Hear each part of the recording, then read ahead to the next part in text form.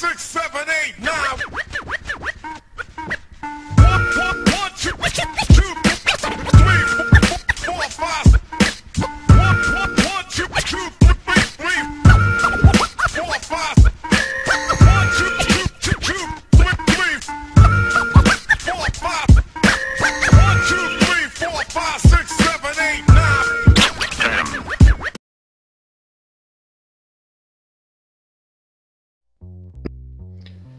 Scorecards presented by Cigar Boxing.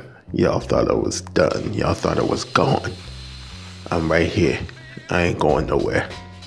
Like I said, I gotta keep it 100 always. But before I start this video, let me give respect to Blood Boxing.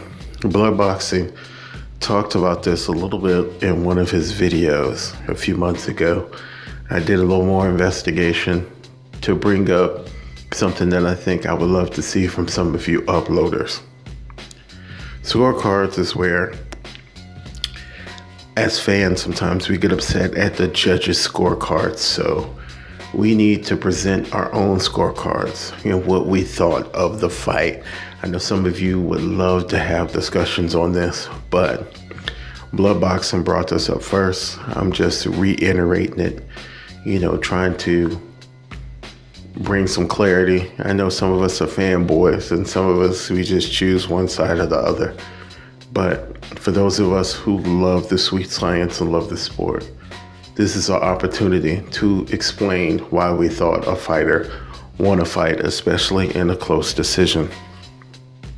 With Canelo versus Golovkin coming up and that possibly going to a decision, this is what I thought was a good time to bring this out and talk about it, especially with all the confusion over the fights that we've had the last few months, especially with Kovalev versus Ward 1 and who you thought won the fight, or Pacquiao versus Horn and who you thought won that fight. A lot of us say who we thought won that fight, but don't explain why we gave a fighter a round. I just can't depend on the judges as a fan we should have our own scorecards. So let me help you out. For those of you who have an Android phone, you know, Samsung or whatever, and the software is Android, the best app that I've seen to have your own scorecard to judge during a fight is OBR, Open Boxing Scorecards. The symbol looks like this in the Google Play Store is yellow and black, and that is the best scorecard I have seen. So, and that was suggested by Blood Boxing.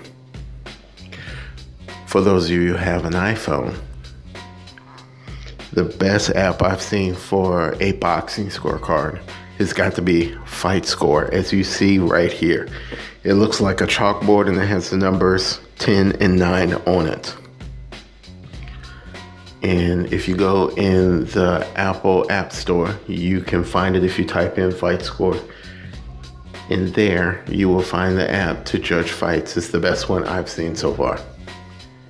So I'm just making the suggestions. I will put up my scorecard after Canelo versus Golovkin, and I will start to do it more repeatedly with more and more fights because we get it twisted sometimes. Sometimes we become too too much of a fanboy, a fangirl of a certain fighter, and we don't explain why we thought a fighter won the fight, especially with so many bad decisions going on as of late.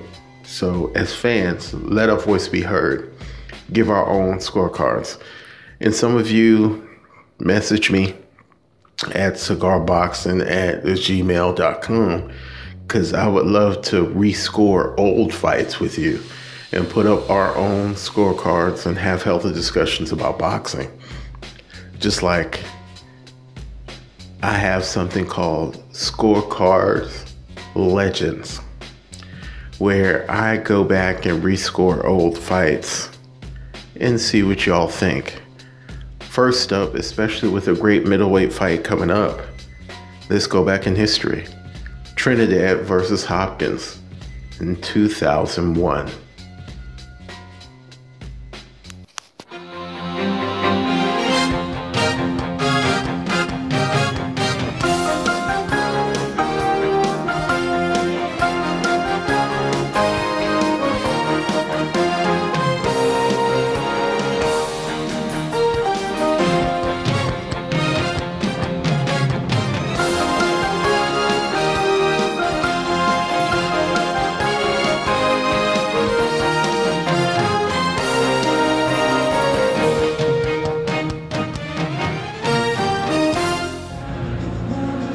And now it's time for our main event Felix Trinidad against Bernard Hopkins.